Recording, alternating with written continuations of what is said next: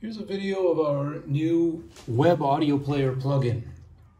Uh, it's not actually a brand new plugin, it's been around for a few months, but uh, we had some issues we wanted to work out of it before we do a demo, and now they're working, and so now I'm showing it to you. So this is a, um, it's meant to be a general audio player. Uh, it plays audio from pretty much let's say 90% of the audio sources on the internet. The ones that don't work are um, video. Doesn't It doesn't work with YouTube or Vimeo or anything like that. Uh, and it doesn't work with certain audio sources where they're creating the audio as opposed to streaming it from a file. So um, we could say in general that if your audio source is uh, an audio file or um, an internet radio stream, not an SDR stream. We have another app for that called WebSDR, but an internet, standard internet radio stream, this should work.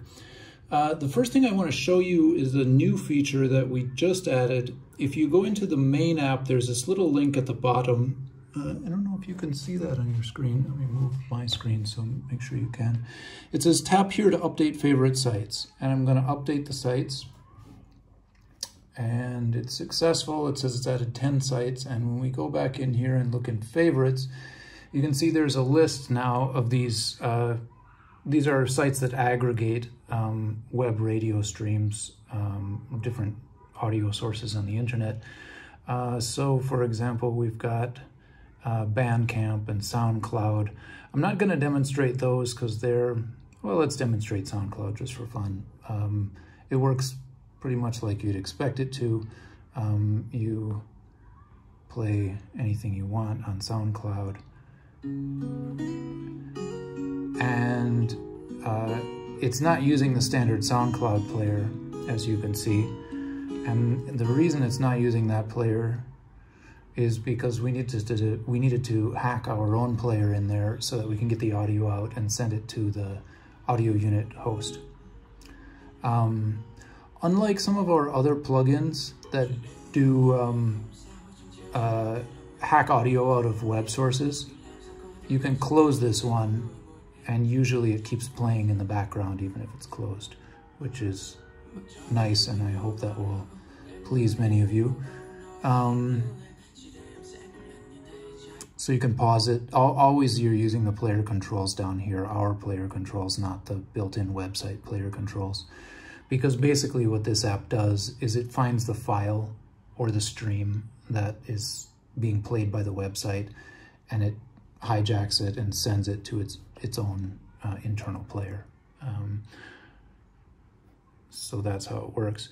Uh, but now we have this this new feature where you can add um, your own list of sites. One of the things that's nice about this is there's there are some other plugins that play internet radio streams, but we've seen some conversations on the forums where it's clearly not very easy for people to listen to those streams.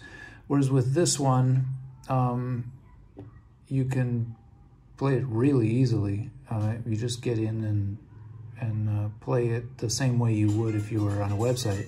There it is, it's playing. You don't have to um, you know, you don't have to try to hack in and find the URL and copy it out. This, this plugin will take care of that for you. Um, let's see, what else do we have that we can look at? World Radio Map, this one's kind of cool. Um, waiting for it.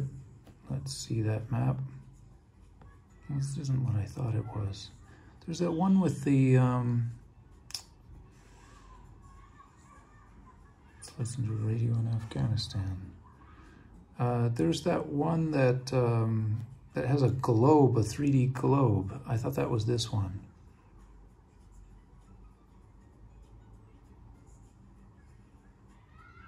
Well, this is nice anyway, um, but that's not what I was thinking of. What do we have? Global streaming? Let's try that. No, not that. Internetradio.com. We already looked at that.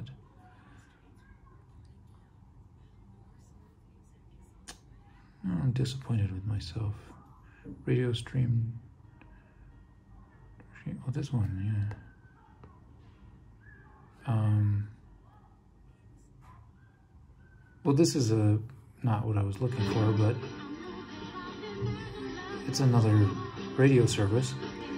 Um, pause that.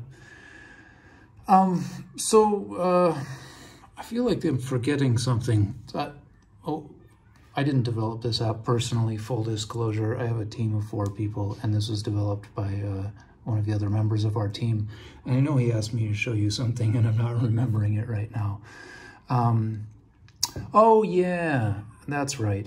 He wanted me to show you that when you're listening to these streams, I'm going to turn the volume down. Uh, this does something that you don't normally get on streaming radio, and that is it, it saves the audio. So like if you're listening to the radio and you hear something good and you, you're like, oh yeah, I like that, I want to hear that again, you can back up and you can, you can hear what's going on. If you watch the clock down here, you will, um, can you see the clock on your screen? Push, push that up. Uh, you can kind of see, I can zoom in on that clock for you. There you go. There's the clock. Um, if you watch this clock, you can kind of see what's going on is um, this number on the bottom is the total length of all the audio that's currently buffered in, in this player. And the number on the top is the current position of the, the cursor.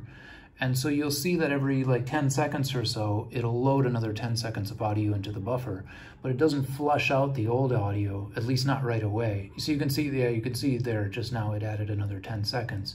And every time it adds another 10 seconds, the scroll, the uh, position of this thing jumps back because there's more stuff ahead of it.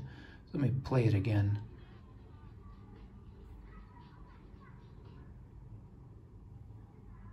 Are we still playing? Right.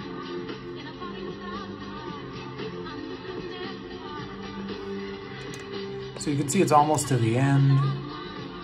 Two minutes, 25, and then it jumps back. This little button jumps back because it loads another section. Um, so that's, I think, I hope that will be useful to you, you uh, people who like to um, listen to internet radio that you can now go back if you want to hear something again. Um, and that's pretty much all that I have to say about um, Web Audio Player for the moment. This is on the App Store. Uh, it's already there. You can go and, and uh, buy it if you're interested in it. Um, and if you like seeing uh, these kind of videos, hit that subscribe button. If you just want to be nice and help us out, hit that like button, and we'll see you in the next video. Bye.